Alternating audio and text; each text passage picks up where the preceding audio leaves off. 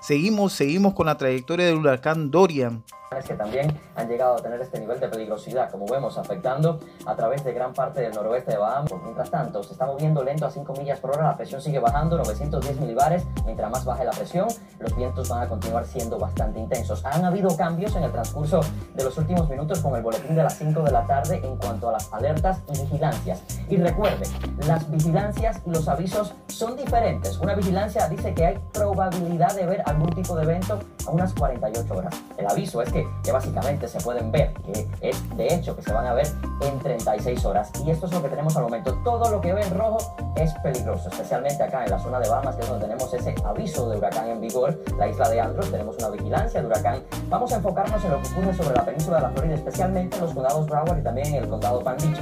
La costa del condado Broward está ahora mismo una vigilancia de tormenta tropical. Ha estado así desde las 5 de la mañana. Eso quiere decir que hay probabilidad de ver vientos de tormenta tropical. Vientos de tormenta tropical son vientos de 39 millas por hora hasta 73 millas por hora. Ahora, sobre el condado Palm Beach tenemos un aviso de tormenta tropical, que quiere decir que sí, ya es muy posible que se vean vientos de tormenta tropical en unas 36 horas o menos y a la vez tenemos, como vemos acá en este colorcito un tanto púrpura y rosado, una vigilancia de huracán. Y esto se ha puesto en vigor en caso de que se acerque más este huracán. Además de eso tenemos otras alertas, un aviso de marejada ciclónica, ese es el mar que se levanta y afecta a la costa y esto comienza a través de la zona de Lantana y afecta partes del condado Palm Beach y hacia el norte. Más hacia el sur no tenemos nada, no tenemos tampoco nada en el condado Miami-Dade. Muy importante ver el anillo de vientos. El anillo de vientos huracanados va desde el centro a unas 45 millas de radio, o sea, se aleja del centro unas 45 millas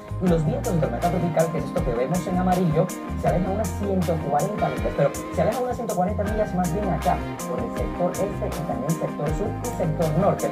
Según el Centro Nacional de Huracanes, es posible que nosotros en algunos puntos del sur de la Florida veamos algún tipo de impacto de tormenta tropical desde Miami, Florida, seguimos en cobertura especial sobre la llegada del huracán Dorian. Gerardo Núñez.